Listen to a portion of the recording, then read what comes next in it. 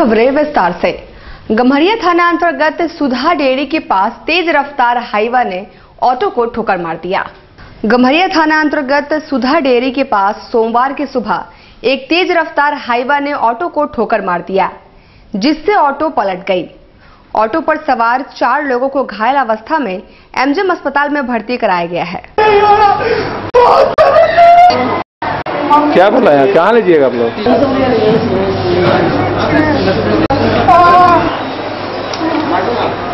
एक मिनट क्या नाम है आपका? राहुल सिंह हाँ कहाँ रहते कहाँ? गमरिया अच्छा कहाँ से कहाँ आ रहे थे आप लोग?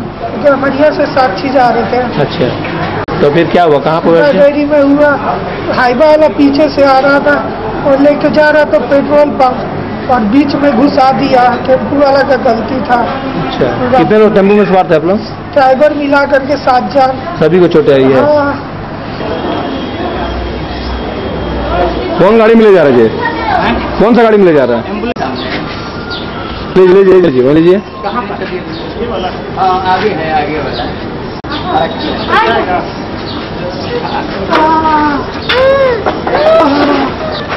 सरायकेला अंतर्गत नारायण डी में आपसी विवाद में छोटे भाई ने बड़े भाई को कुदाल से मारकर गंभीर रूप से घायल कर दिया।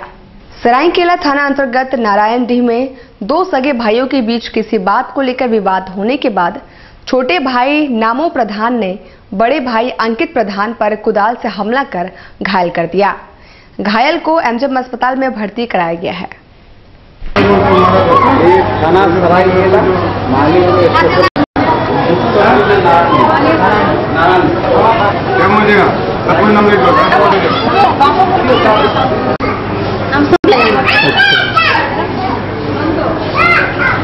बताइए तो ये सुबह अपना खेत देखने के लिए गए अच्छा। तब तो इनका वो सगा छोटा भाई वो कल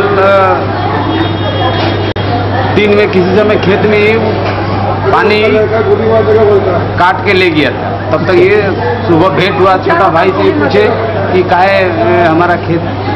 सब पानी ले गया थोड़ा पानी रखने। देना तब तक वो खाली हाथ थे और वो फड़ुआ कुदाल लिए हुए थे।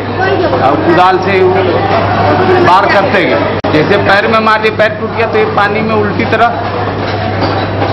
गिरा हुआ था। तो इसी में पूरा क्या, मुँह में, पीठ में। मुँह में छह जगह चोट है, कुदाल उधर घुस गया है, पीठ में। कोल्हान विश्वविद्यालय में छात्राओं को अब तक मार्कशीट नहीं मिल पाए हैं, जिससे कई छात्राएँ छात्रवृत्ति लेने से वंचित होती जा रही हैं। उपायुक्त के पास गुहार लेकर पहुँची ग्रेजुएट कॉलेज की छात्राओं ने मांग की है कि छात्रवृत्ति के लिए अंतिम तिथि 30 सितंबर रखा गया है, पर उन्हें मार्कशीट नहीं मिलने के कारण वे फॉर्म फिलअप करने में असमर्थ हैं, जिससे वे छात्रवृत्ति से वंचित हो जाएँगे। हम लोग graduate school college for womens हैं। Graduate school college for womens से हैं। हम लोग का मामला ये है कि स्टाइपेंड का डेट जो थर्टी सितंबर लास्ट डेट है उसको आगे बढ़ा जाए। क्योंकि हम लोग का मार्कशीट अभी नहीं आया है और एडमिशन फॉर्म हम लोग फिल नहीं कर पाए जो बेसिक क्राइटेरिया है स्टाइपेंड फॉर्म फिल करने का। तो जिसके कारण एक मेजर मेजर क्लास है स्टूडेंट्स का जो फिल नहीं कर पा रही है स्टाइपेंड का। तो हम लोग का यही आवेदन है कि हम स्टाइपेंड का डेट आगे बढ़ाया जाए। आज किससे मिलने के लिए? आज वेलफेयर डिपार्टमेंट के सर सुरेश मुखी द्वारा मुन्ना घोष पर प्राथमिकी दर्ज किए अभी एक दिन भी नहीं हुआ है। कि मुन्ना घोष के परिजनों ने सुरेश पर पैसे मांगने का गंभीर आरोप लगाया है।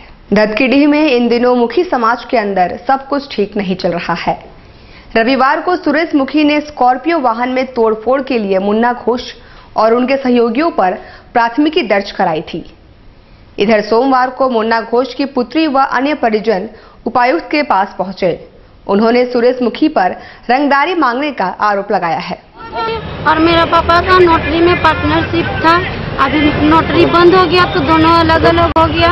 और होलिया मुखी का और उसका पार्टनरशिप था, दारू का ये में और अभी तो होलिया मुखी जेल का अंदर है कल्लू घोष का मर्डर का ये में सूरजमुखी हम लोगों को हमेशा चढ़ाव कर रहा, दबाव कर रहा, मेरा पापा का ऊपर, मेरा भाई लोगों का ऊपर हमेशा केस पे केस केस पे केस। कभी बिष्टुपुर थाना तो कभी कदमा थाना तो कभी एक्साइज वाला लोगों का पैसा खिला खिला के ये कर रहा है। और मेरे जब जब मेरा चाचा का गवाही आ रहा तब तक वो कुछ ना कुछ करके जैसे लोगों गवाही ना दे और फलिया मुखी निकल जाए और लोगों दोनों पार्टनरशिप होके हम लोग को दबाव करना चाह रहे क्या नाम है पापा का?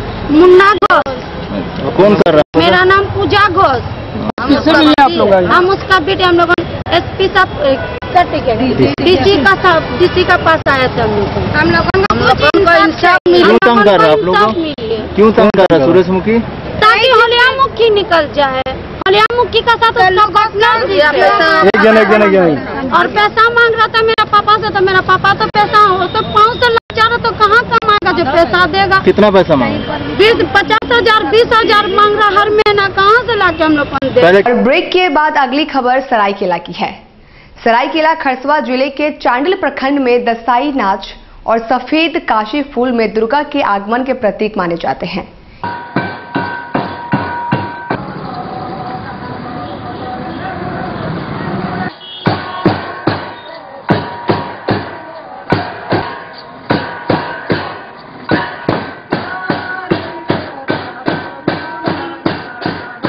ग्रामीण घूम घूम कर दसाई नृत्य कर रहे हैं। ये दृश्य है सरायकेला खरसावा ज़िले के चांडिल प्रखंड का। यहाँ ग्रामीण दुर्गा पूजा के 10 दिन पूर्व ही सफ़ेद काशी फूल के फूटते ही घरों से निकल पड़ते हैं और घूम घूम कर दसाई नृत्य करते हैं। वे दशमी के दिन अपने घरों में वापसी करते हैं। ये परंपरा वर्षों से चली आ रही है। दसाई नृत्य और काशी फूल का एक दूसरे से गहरा नाता है। ग्रामीण साल में एक बार प्रस्फुटित होने वाले काशी फूल को देख दुर्गा पूजा की तैयारियों में जुट जाते हैं।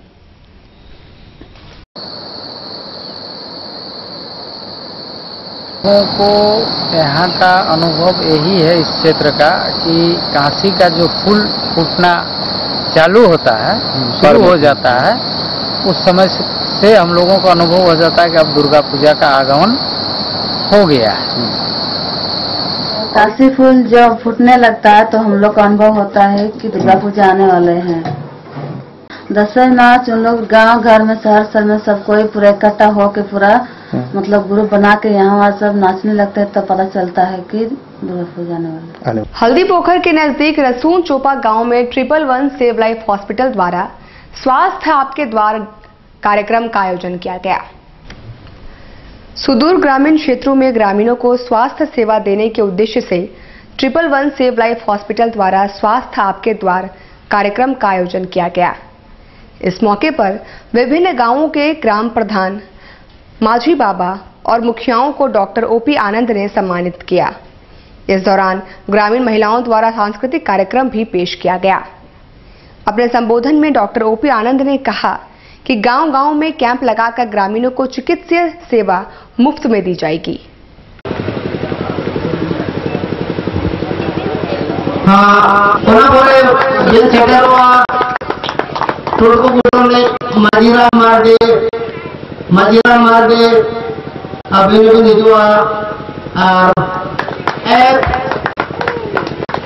तो प्रोग्राम का आयोजन किया गया है।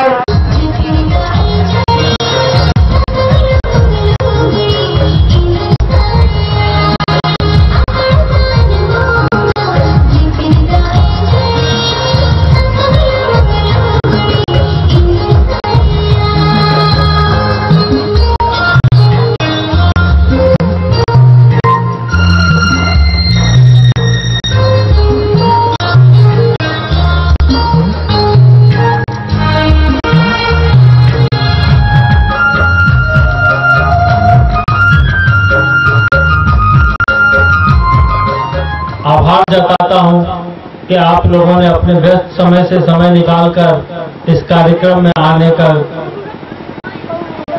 काम किया है। मैं आप सबों का बहुत धन्यवाद देता हूँ। मित्रों, एक विशेष उद्देश्य से हम लोगों ने इस बात को मिलाइए, अपने संकल्प को जोड़िए, अपने संकल्प को दोहराइए। और इसके लिए हम लोग जैसे सरप्राइज़ कह रहे थे कि जैसे दुर्गा पूजा खत्म होगा, वैसे ही हम लोग एक कैंप करेंगे। उसमें हम लोग एक और सुधार करेंगे। जितने महाजीव और गाँव के प्रधान आए हैं, या प्रमुख व्यक्ति आए हैं, उनको हम लोग अभी अपना अपना हॉस्पिटल का एक लेटर पैड दे देंगे। वो जिस पेशेंट को लिख के दे देंगे, उसका हम लोग इलाज जो है, उनके हिसाब से कर देंगे। मतलब आप लोग अपना फ़ोन नंबर रजिस्टर्ड कराइए, आपको फ़ोन करके आपके गाँव में हम लोग जाएँगे। और वहाँ पर कैंप लगाएँगे छोटा कैंप दस मिनट, आधा घंटा, एक घंटा। ज़्यादा से ज़्यादा किसी गाँव में मैक्सिमम एक हज़ार आदमी हो सकते हैं। उसमें समझिए कि दस, बीस, पचास आदमी बीमार है। हम लोग एक घंटा में देख लेंगे। दुर्गोत्सव के मौके पर शहर के जाने माने विकास ज्वेलर्स में ऑफरों की भरमार है। चांदी और डायमंड के गहनों पर 100 प्रतिशत तक की छूट, जबकि सोने के गहने पर 50 प्रतिशत तक की छूट दी जा रही है। पूजा त्योहारों को देखते हुए विकास ज्वेलर्स द्वारा तरह तरह के आकर्षक उपहार भी दिए जा रहे हैं।